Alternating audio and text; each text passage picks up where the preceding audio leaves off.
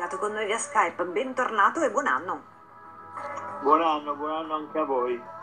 Spero che vada tutto bene, ma il primo commento che ti chiedo di condividere con noi riguarda qualcosa che va tutt'altro che bene, ovvero quello che è accaduto questa notte a Washington. Sì, eh, credo che nei prossimi, nelle prossime settimane, nei prossimi mesi avremo tempo e modo di valutare una cosa che cambia, eh, cambia il modo di guardare a la democrazia americana, la patria della, della democrazia, bisognerà riflettere su quanto mm,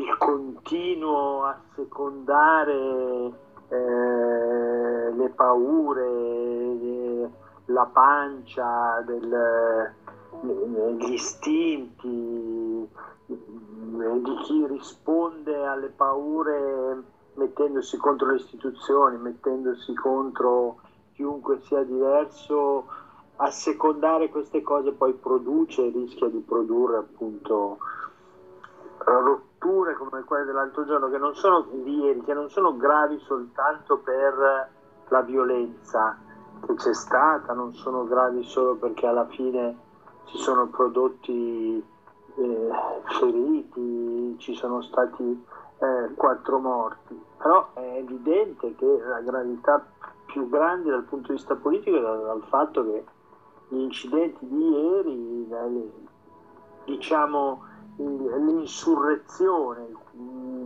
eh, di ieri contro le istituzioni è stata direttamente responsabilità di un presidente che per due mesi ha cercato di non, non riconoscere la legittimità eh, di, di, un voto, contestare la vittoria democratica eh, di Biden, di mettere in discussione, eh, di mettere in discussione tutto, appunto, diffondendo messaggi eh, che hanno poi alimentato ciò che abbiamo, visto, che abbiamo visto ieri. Questo non era mai successo negli Stati Uniti, non era mai successo che un presidente non riconoscesse quasi subito, nelle, ore, nei giorni successivi alle elezioni, il, la, la, vittoria di, di, un altro, di un altro presidente. Io penso che sia molto grave quello che è successo. In tutto questo c'è un fatto positivo che le istituzioni americane hanno retto, hanno dimostrato la forza della democrazia che già ieri sera, eh, appena sgombrata, eh, sgombrato l'emiciclo, eh, le Camere si sono riunite e, e hanno proseguito a fare ciò che stavano facendo, cioè a riconoscere e a certificare l'elezione di Biden, che era quello che si era cercato eh, di impedire e questo si è fatto con eh, l'accordo di, democratici e repubblicani, quindi tutte le forze democratiche del paese si sono, al di là delle differenze, si sono ritrovate nella difesa della democrazia nel far andare avanti i processi costituzionali.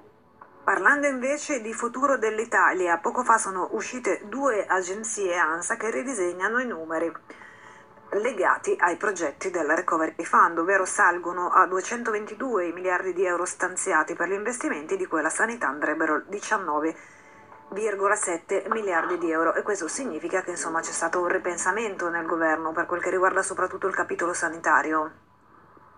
Sì, eh, leggeremo bene eh, giustamente in maggioranza si è guardato al primo documento del governo, le forze politiche hanno fatto, eh, e non c'era bisogno di fare ricatti o dare ultimatum, hanno fatto delle osservazioni, molte delle quali sono state raccolte dal governo. Questa eh, 19, di arrivare a 19 miliardi e 700 milioni per eh, la sanità sicuramente eh, una buona notizia, si assommano a altri miliardi che abbiamo messo nella legge, nella legge finanziaria, eh, ma ci sono altre buone notizie. Noi abbiamo insistito in queste settimane perché si riducesse il numero dei bonus e si aumentasse il numero degli investimenti, cioè si desse più respiro alle iniziative finanziate con Recovery Fund, questo c'è,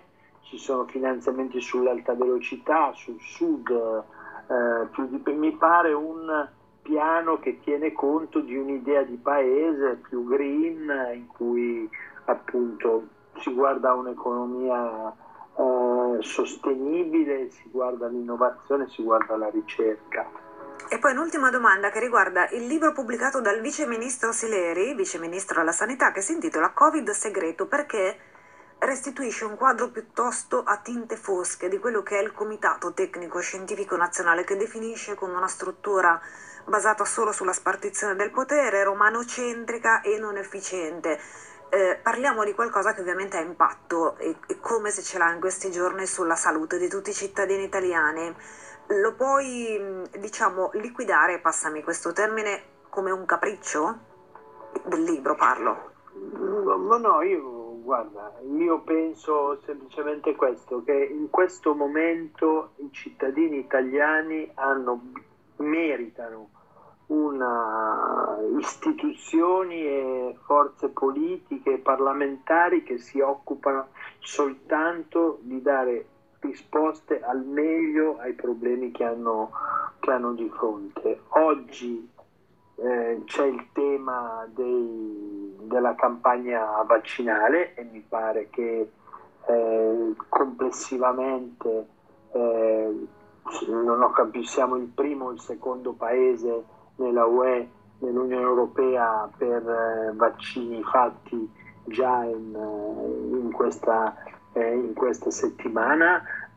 Penso che si dovrà fare un salto di qualità nei prossimi giorni. Certo ci sono regioni che sono rimaste indietro, io trovo, trovo scandaloso il fatto che la regione Lombardia sia al terzultimo posto per l'utilizzo dei vaccini che gli sono eh, che gli sono arrivati, abbiamo bisogno di affrontare la pandemia guard- guardando i dati eh, che, che, di giorno in giorno ci dicono che la pandemia non è, non è sconfitta, il numero di contagiati è ancora troppo alto, l'RT è ancora troppo alto e dobbiamo ogni volta, il governo deve ogni volta misurare le, le, iniziative sulla base di ciò che ci dicono i contagi. Nei prossimi giorni avremo un'altra prova difficile come quella della riapertura delle scuole e quindi io se fossi Sileri mi concentrerei sulla necessità di affrontare questi temi eh, al meglio. Poi ci sarà tempo e modo nei, nei, prossimi anni, ognuno scriverà le sue memorie, racconterà eh, come il proprio punto di vista. Io penso che eh, eh è evidente che il Comitato Tecnico Scientifico eh, eh, ha avuto molte incertezze, che il governo ha dovuto spesso decidere sulla base dei dati ma anche sulla base del, di una sensibilità che ha privilegiato e io credo giustamente la sconfitta della malattia ad ogni e del Franco Mirabelli, scusami, io devo chiudere. Cosa, mi, finito, scusa, mi stanno facendo dei gesti brutti, ma in modo educato. No, no. Dalla regia. dire questa cosa. Va bene. Grazie, senatore Franco Mirabelli, Partito Grazie Democratico. Grazie a voi. Grazie a voi, ciao. E adesso c'è Mica.